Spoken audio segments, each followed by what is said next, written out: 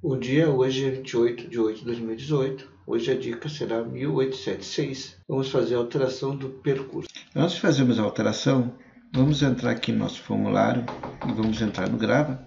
Vamos entrar no código. Foi acrescentado agora grava 002 tabela percurso, que não foi incluído na última aula. E dentro do grava F2 percurso, também a gente vai modificar uma linha aqui. MDFI percurso imdfidados.id igual e não a tempo como eu tinha colocado antes, é igual imdfdados.imdfdados.id, beleza? Essas são as duas alterações da última aula. Agora vamos entrar no código aqui, da janela, onde tem configuração inicial. Aqui onde tem o código de configuração inicial, nós vamos criar uma interna procedure chamada percurso ler. Interna procedure, percurso ler, abre e fecha parênteses. Primeiro eu vou limpar a tabela, tab delete all, tab percurso. Agora vamos percorrer a tabela. For each mdf percurso, where, entre aspas, mdf dados id igual mdf dados ponto mdf dados id. Vamos agora adicionar a linha. Tab add line, abre parênteses, tab percurso, vírgula.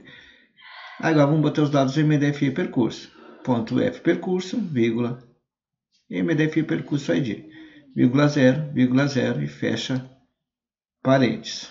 Aqui nós temos os dados na tabela agora. E agora aqui em cima, onde nós temos se for novo igual a true, não é o nosso caso.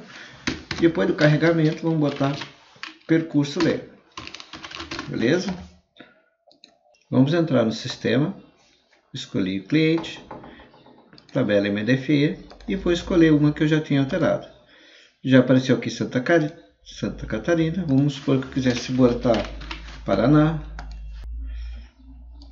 Vamos gravar. Próxima aula, nós vamos fazer com que possamos escolher o que nós fizemos de errado, beleza? Assim como nós tivemos esse aqui.